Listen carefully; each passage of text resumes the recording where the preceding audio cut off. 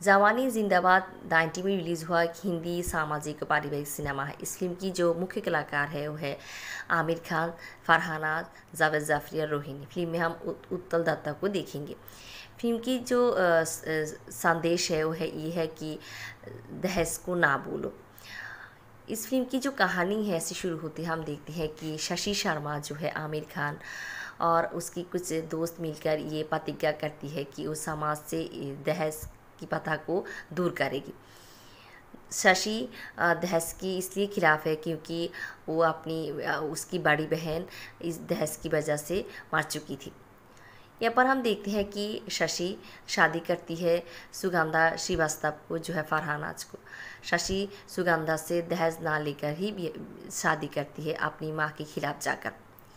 यहाँ पर हम देखते हैं कि शशि की एक छोटी बहन है, जो है रमा, जो है रोहिणी। और रमा पसंद करती है राबी वर्मा को, जो है जावेद जाफरी।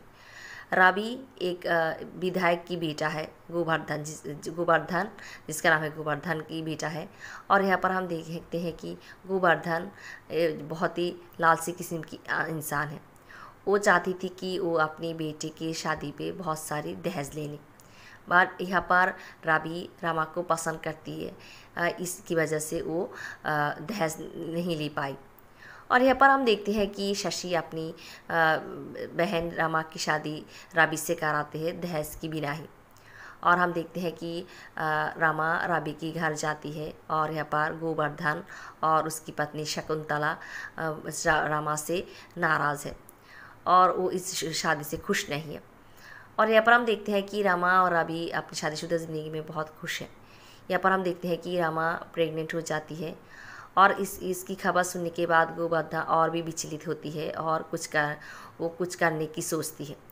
और हम देखते हैं कि यहाँ पर वो ये करती है कि वो राबी को दिल्ली पोस्टिंग कर देती है। और हम देखते हैं कि वो रामा के विरुद्ध एक षडयंत्र करती है।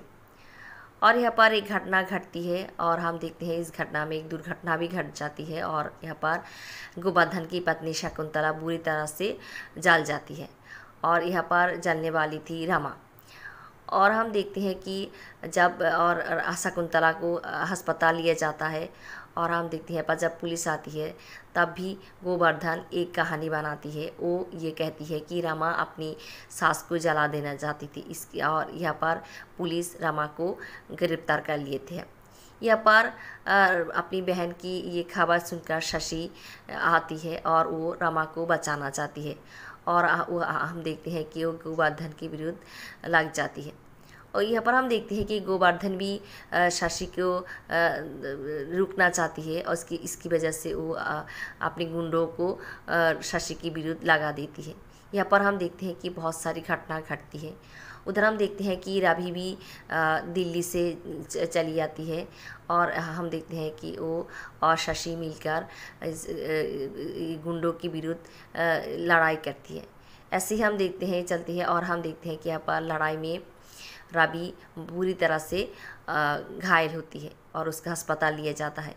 और हम यहाँ पर हम देखते हैं कि गोवर्धन अपनी बेटे की ये बुरी हालत देखकर बहुत विचलित होती है और अफसोस करती है और शर्मिंदी होती है। और यहाँ पर हम देखते हैं कि वो रामा रामा के पास जाती है। रामा जो एक कन्या संतान की जन्म देती है अस्पताल में और वो जाकर रामा से माफ़ी मांगती है। रामा सभी को माफ़ कर देती है।